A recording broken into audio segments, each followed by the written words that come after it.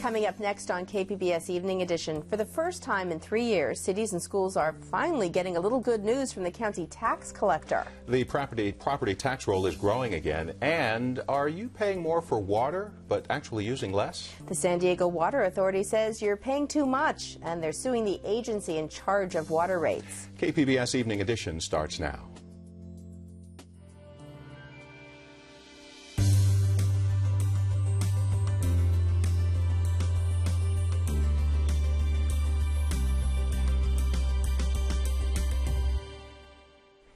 Hello, thanks for joining us. I'm Joanne Faryon. And I'm Dwane Brown. San Diego-based San Diego-based sailors and Marines have arrived in the Persian Gulf region just as tensions are building with Iran. The two groups of San Diego Navy ships are now stationed in the Middle East. The USS Carl Vinson arrived today with its carrier group, just days after Iranian officials threatened to close the Strait of Hormuz. The Navy says the Carl Vinson will support Operation Enduring Freedom. Also in the area is the USS Makin Island, the Navy's newest amphibious assault ship on her maiden voyage. The 11th Marine Expeditionary Unit from Camp Pendleton is with the Makin Island Group. The Carl Vinson arrived as Iran announced a death sentence for a former Camp Pendleton Marine. The Iranian government convicted Amir Mirza Hekmati as a CIA spy. Hekmati was a military translator with dual U.S. and Iranian citizenship. He had been visiting his grandmother in Iran when he was arrested. The U.S. says he is not a spy, and the State Department has demanded his release. This is the first time an American has been sentenced to death in Iran since the Islamic Revolution in 1979. Opening arguments began today in a long awaited trial at Camp Pendleton, that of a Marine sergeant for the deaths of 24 Iraqis, including unarmed women and children in the town of Haditha. KPBS reporter Allison St. John has been following today's proceedings. She joins us now by phone. Now, Allison, this is the biggest criminal case against U.S. troops in the Iraq War. Staff Sergeant Frank Wuterich is the final Marine to be tried in this case. The others have been acquitted or had their cases dismissed. Now, tell us about opening arguments today. Well, Joanne, the prosecution, which is essentially the government, had fairly short opening arguments, just about half an hour. They uh, cited several of the clips from the 60 Minute interview that Wuterich gave back in 2007, which were rather incriminating, in which he said that he did think there were probably women and children in the rooms where he uh, raided. Now, they cited evidence that he told his squad to shoot first, ask questions later, and they gave rather graphic, gory descriptions of the killings in, in the houses. They concluded by saying that um, Wuterich never lost control of his squad, made a series of fatal assumptions, but did lose control of himself. Now, the defense attorneys, on the other hand, civilian defense attorneys, took more than an hour to describe the scene. They questioned the veracity of the testimony of some of the uh, Marines who are going to be testifying against Wuterich, members of his squad, calling them, quote, a bunch of scared Marines who were offered immunity.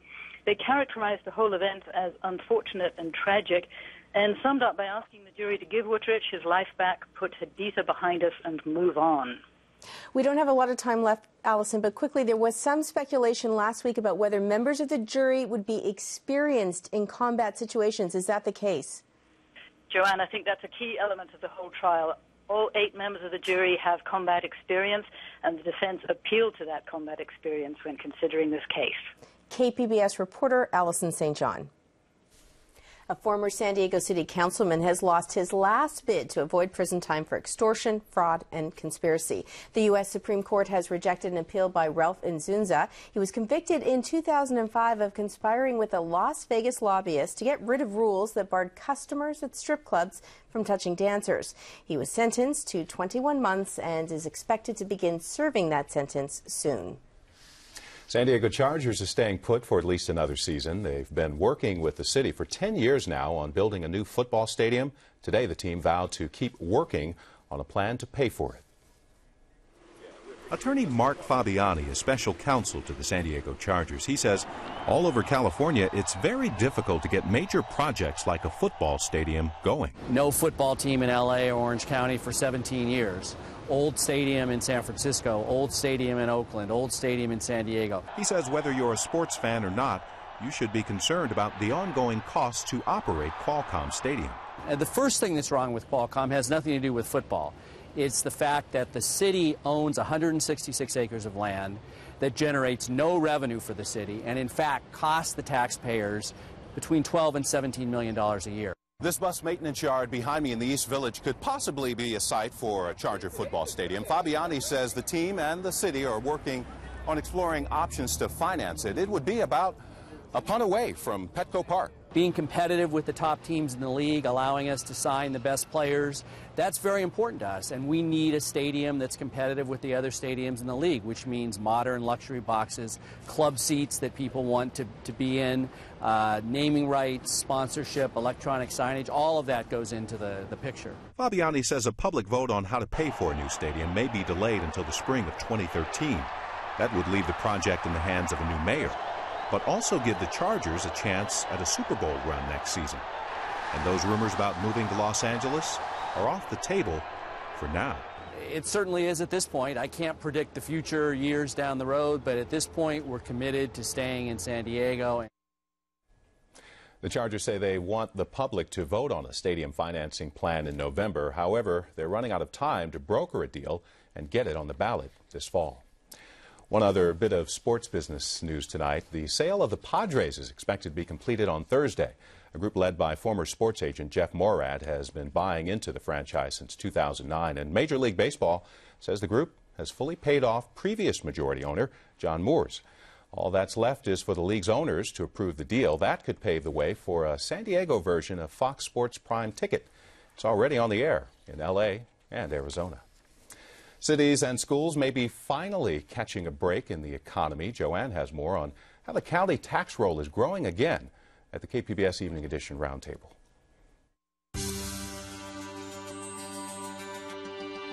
The numbers are in. San Diegans paid more in property taxes in 2011 than the year before. Perhaps bad news if you're a homeowner, but good news if you're a city which relies on those taxes to balance your budget.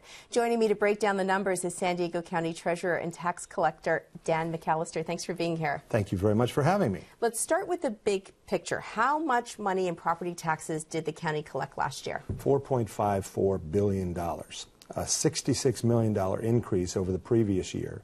And that is a good sign. That is something that has enabled us to believe that we're starting to see the light at the end of the tunnel. Uh, in many of our communities. Things are starting to look a little brighter. So, does that mean that property values are going up, they're changing hands more often, or, or what does it mean? I think overall it means that property values uh, are going up it means that they do continue to change hands. Just because properties change hands doesn't necessarily mean the value goes up, especially if people are buying uh, homes that were in foreclosure or uh, out there as distressed properties. So we're starting to see things push up and that's a good sign. And this really reverses a trend of the past couple of years. I know I've done some reporting on this that last year, in fact, for the first time in more than 30 years, the rate of inflation pushed down property assessments. So this this is really a reversal, isn't it? yes, it is. Yes, it is. And it's based, as the assessor always tells us, on the California Consumer Price Index, which sadly for San Diegans is based on the indices of Los Angeles and San Francisco counties. So when they're up, we're up. And it shows that there is a little bit of an improvement over the zero line, which is what we passed through as we came out of the doldrums that we were in for a couple of years. Now, people aren't generally happy about paying more in taxes, but in this case, where does this money go? Gosh, the money goes to cities, it goes to schools, it goes to, in the past, redevelopment. Uh, it goes to a whole myriad of things that are valuable and vital to the operation and function of communities. You mentioned redevelopment. About 11% of this money typically goes to redevelopment. That's not going to, is it going to happen this year? Now we know the Supreme Court has said these agencies will be dissolved? It's a giant question mark. Uh, uh, people are saying that possibly the legislature will swoop in and do something in an omnibus way to replace or replenish what was lost.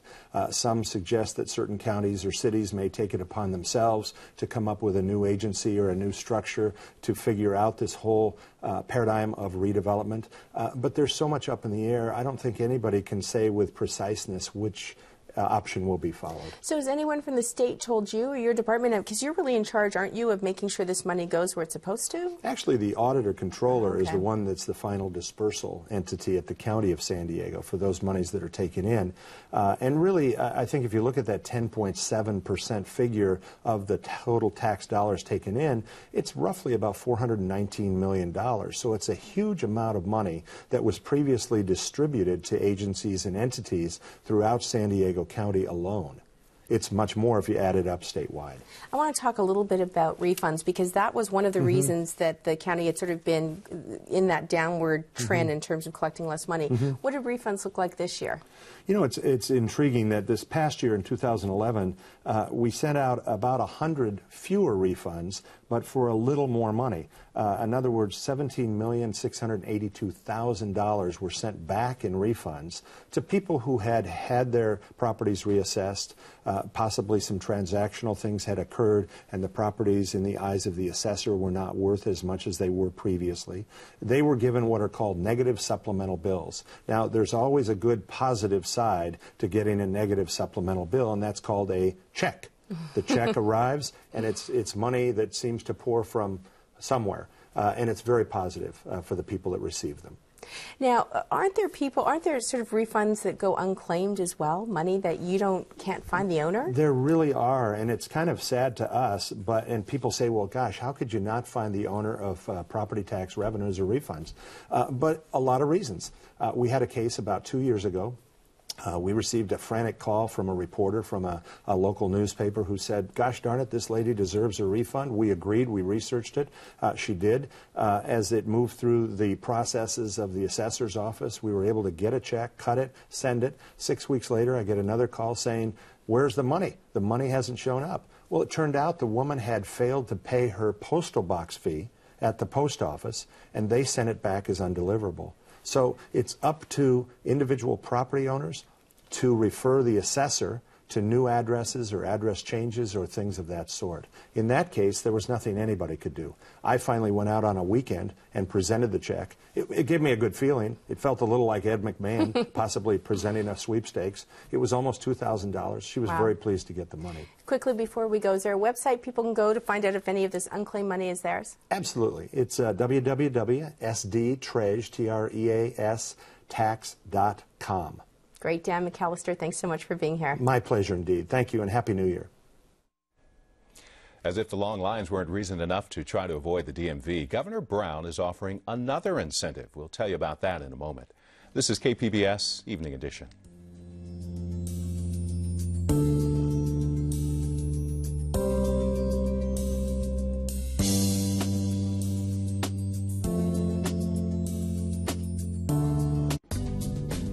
Tonight on KPBS. At 8, Antiques Roadshow is in Tulsa, Oklahoma, checking out the vintage Petroliana collectibles and an extremely rare 1924 Lloyd Loar mandolin. Then at 9, the roadshow moves to Tampa, Florida to peruse a range of golf collectibles. Also, breastplate decorations from a Sioux chief.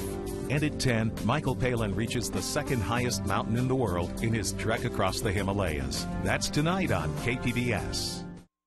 I'm Jeffrey Brown. On the next news hour, Gwen Ifill reports from New Hampshire a day ahead of the primary, plus Supreme Court arguments over redistricting in Texas. That's Monday on the PBS NewsHour.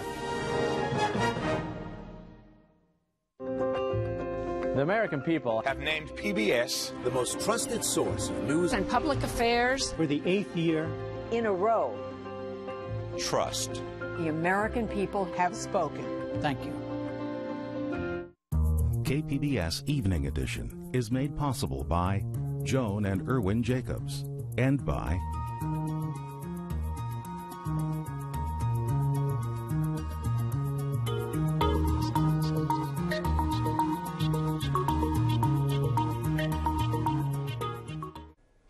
Governor Jerry Brown's new budget offers a proposed discount for drivers $5 off for renewing your vehicle registration online or through the mail instead of going to the Department of Motor Vehicles. The governor says keeping people out of DMV offices would save the state money, but wouldn't say just how much. Drivers, however, are expected to save an estimated $100 million a year with the discount program.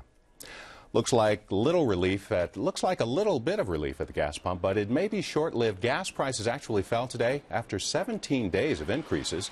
The average for a gallon of regular in the county is about $3.70. Today's price drop may be a temporary reprieve. Some industry analysts say retailers haven't caught up with the higher costs.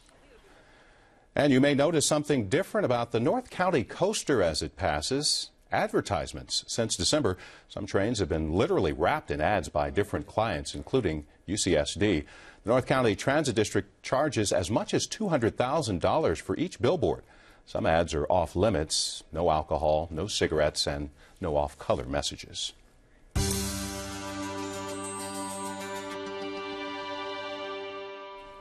Baby boomers continue to wash over America's cultural landscape even as they enter their golden years. The sheer force of numbers gave the post World War II generation the power to change society for decades. KPBS business reporter Eric Anderson looks at boomers who are putting off retirement's promise of a life of leisure. See what I did? Notice the back is straight. I'm not leaning, I'm not pulling this way. Bill Moore is a teacher with a champion's pedigree. All right, one, good. Get my chin. Two. Moore won bodybuilding competitions in his 40s and 50s. That got the former Marine's picture on the wall of Stearns Gym in North Park. He's still working at 70. You can only play golf sometimes so long. You can only fish so long when it becomes boring. And then when it becomes boring, what are you going to do? Three. Moore wants to stay active. Life has been good, but not so good that he can quit working. Last one. I have savings. Uh, I never had a pension, so I've got to continue. As long as I can walk, talk, breathe, I'm going to be working. But that's not the important thing. The most important thing, I love what I do. Moore is part of a growing segment of America's aging population. The Pew Research Center says a quarter of the people living past retirement age are still part of the workforce. Nearly half are working because they need the money. San Diego State University professor emeritus Tom Warschauer says the economy gets some of the credit. We wouldn't see that phenomenon if it wasn't for the for the recent market downturns and lack of growth in the last five years. That's backed up in a new Wells Fargo poll. A quarter of middle class Americans say they'll need to work until they're 80 in order to be comfortable in retirement. Nearly three quarters of those polled say they expect to work past retirement, and more than half think that they'll have to work past retirement to make ends meet. Warschauer says a number of factors are at play, but two of them stand out. First, there's no mandatory retirement age. The net result is that it's entirely the option of, of the individual. Secondly, as I mentioned, life expectancy has gone up substantially. Warschauer says people who think they're going to live longer plan to work longer. Richard Schulman is a 71 year old computer software salesman and consultant. He's sold imaging programs to scores of government agencies interested in fighting wildfires. San Diego County uses one of those systems. Uh, here's an example of 3D. This product, you can get a 3D rotation. It's actually a very dynamic product. It also will print uh, images. It will print whatever's on the screen. It will output them in a computer format to uh, back to headquarters.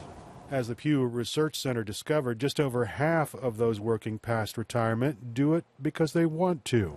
I, I get the satisfaction of knowing I'm doing a good job. I get lots of feedback, and I seem to be part of the team and needed. And the clients are loyal for that. The retired naval commander says financial planning, a modest lifestyle, and some luck affords him the freedom to decide about work.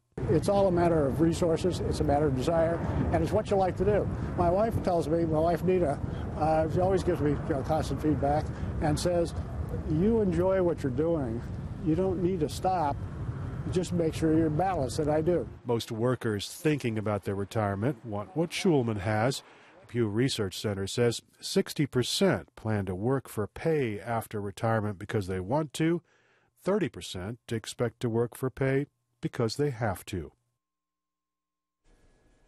That was Eric Anderson reporting. The population is getting older. The Census Bureau says the number of people living to 90 tripled in the past 30 years.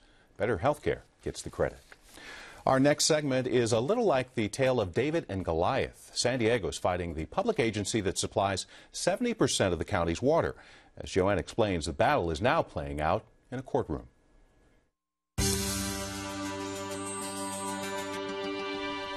You might have noticed your water bill creeping up over the past few years, despite conservation efforts. A lawsuit challenging that increase, or at least part of the increase, is making its way through the courts. The San Diego Water Authority says water users are charged too much in transportation costs. It's suing the Metropolitan Water District, a Los Angeles based consortium of 26 water districts and cities, including San Diego. Joining me to talk about the court challenge is Denise Vedder, Senior Public Affairs Manager at the San Diego County Water Authority. Denise, thanks for being here. Thank you. Let's talk about our water bills right now. On average, an urban user pays about $70 a month. Now, that's gone up over the past few years. How much has it gone up? You know, it's gone up roughly about 25 percent.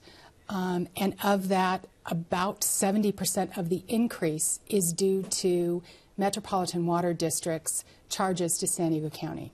So why is that? Why is Metropolitan Water District charging us more for water? Well, San Diego County, our San Diego Water Authority, a number of years ago secured its own reliable Colorado River supplies for San Diego, and we use MWD's pipes to transport that water. So MWD charges us, but they charge us a lot. And we believe they are charging us way too much for the cost of doing that. And that's one of the drivers behind our water rates. So that, and that's really what your lawsuit is saying, isn't it? Yes. Our lawsuit is saying that we should pay something for transporting that water, but we believe that we're being way overcharged. Let me put it in context. Over the next 45 years, we estimate that it's a, up to $1.2 billion that San Diego ratepayers will be overcharged. So tell people at home, what is the Metropolitan Water District? The Metropolitan Water District is a agency in Los Angeles that is governed by the legislature, and they um, sell um, imported water, Colorado River water, and um, State Water Project water. And why can't they charge more for transportation? Why can't they say we're going to increase Because it's against rates? the law. it's not, uh, it's against the Constitution, it's against the law. A public agency can't charge more than the cost of service. So we believe that the other MWD agencies have gotten together and unfairly jacked up the transportation rate because San Diego is the only one that has to pay that rate. Okay, and we're also at the end of the pipeline. I want to read a couple of statements uh, from the Metropolitan Water District. We did call them today, and they referred us to their website for the following this, for the following statement. The SDCWA lawsuit seeks to undermine this proven and successful regional approach and replace it with cost-shifting strategies that benefit one community over another. Outside of San Diego, there is overwhelming support for Metropolitan's current rate structure, which reflects an equitable and regional approach. One more statement. This was from an op-ed piece back in November in the North County Times, um, and it also comes from Randy Record, who's vice chair of Metropolitan Water District. He says only San Diego is attacking and balking at paying its fair share of costs. MWD's management and the other 25 member agencies are trying to maintain financial arrange arrangements that are fair to all Southern California water cu customers. He says, in his opinion, San Diego needs to take that responsibility to heart and examine the fairness of attempting to shift costs to others for its water supply. So it's true, San Diego's the only one complaining about this. How come? Well, that's because we're the only one that we're the only ones that have our own supply of Colorado River water, and it's not because we're at the end of the pipe. It's because we're using the pipe. It doesn't matter um, if you're at the end of the pipe or not. Um, there's a portion of the pipe that we're using, and we want to be charged fairly for that.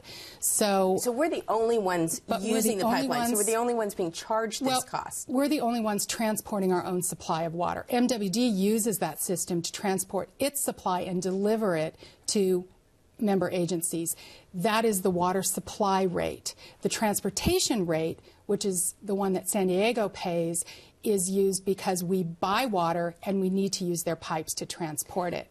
So we believe that the other Met member agencies have gotten together and unfairly made that rate higher so they can pay less for the water that's being delivered to them from MWD. So you think we're actually paying more in that rate than the true cost of it? We are, we we know we are. We've had studies done. We gave those studies to MWD before we before we um, did the loss before we filed suit, and so we have um, you know we have studies that show that we are being that we are being charged more than the cost of fair and reasonable service. I mean, we don't have a lot that. of time left, but just okay. at the end of the day, when this gets yes. settled, what could it mean for people at home and pay with their water bills currently? Well, you know, water is expensive, and it's not going to get any less expensive. But what if San Diego gets a good result in this lawsuit, what it means is by the time it's all said and done, we could get as much as $200 million back to San Diego County to invest in our local supply development uh, projects. Denise Vedder, thanks so much for being here. Thank you.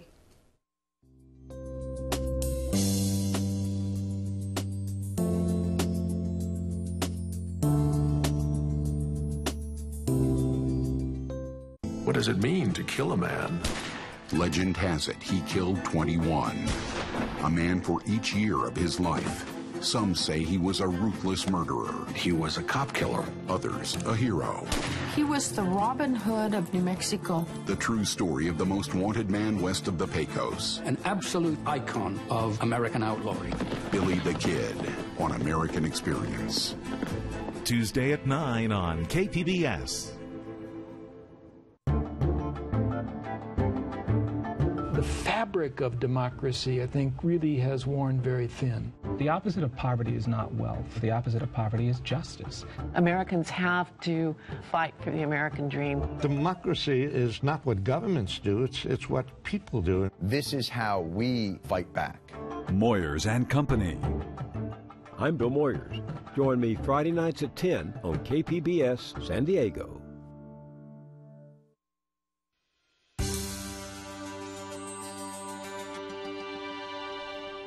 Welcome back to the Public Square on KPBS Evening Edition. As we told you earlier, you've probably noticed your water bill increasing. We'd like to follow up on this and find out whether you've cut back on water use but continue to pay larger bills. Is it the cost of living in a semi-arid climate or do you feel you overpay?